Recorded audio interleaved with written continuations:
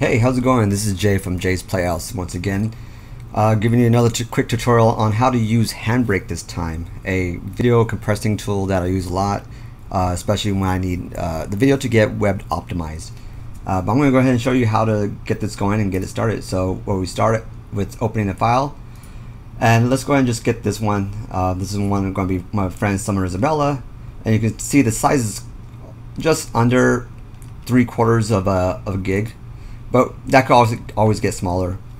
Uh, so as you start out, when you open up the file, you get a nice little preview here. You go through whatever thumbs you want. Um, and then over here you get a bunch of little options. MP4, this is just like the summary of things. Um, it's pretty easy and straightforward once you do this. Uh, you also want to go down here to browse, open this up and get a the location where you want to drop the video at. So I'm going to go back to this section to where I want to put it at. I'll name a file, call it just export, and save that. Next, you want to just go ahead, or if you need to go down to the presets, you can tell there's a bunch of different presets if you want to go a very fast 1080p, 720. Um, 1080 is typically good for uh, viewing on the on a computer and also a smaller device such as iPhone tablet. Um, they got a bunch of other web ones like Gmail, Discord, Vimeo, uh, and then you can tell here all the devices down here like the Apple phones, even PlayStation, Roku's. Yeah, so as you can tell, there's a lot of uh, preset options they already create for you. But if there's one you spe specifically want, you could create one right up here. But we don't need to, so we'll go ahead and skip that.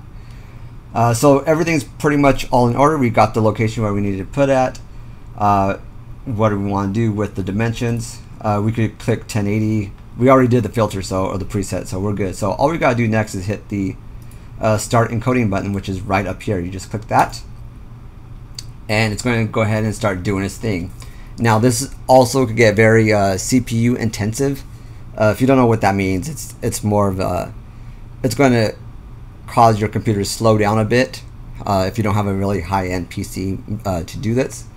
So it's better to just click it and let it do its thing. Uh, this one says timing remaining is about 2 minutes or 1 minute 30. So we'll go ahead and just wait for that to finish up and I'll come back to you in just a bit. 1 minute 37 seconds later.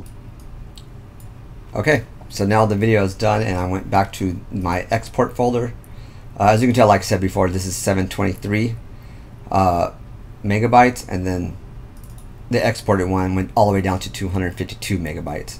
So it took off close to 500 megabytes, half a gig.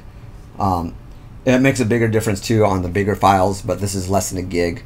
Um, but it's definitely going to help out uh, with uploading the video as well as uh, optimization when it comes to people viewing the video. It won't have to take a super long time to load. It'll just almost be instant, hopefully most of the time. Uh, but yeah, that was a quick video of Handbrake. I hope that you found this informational, and I'll catch you all in the next video. Have a good day.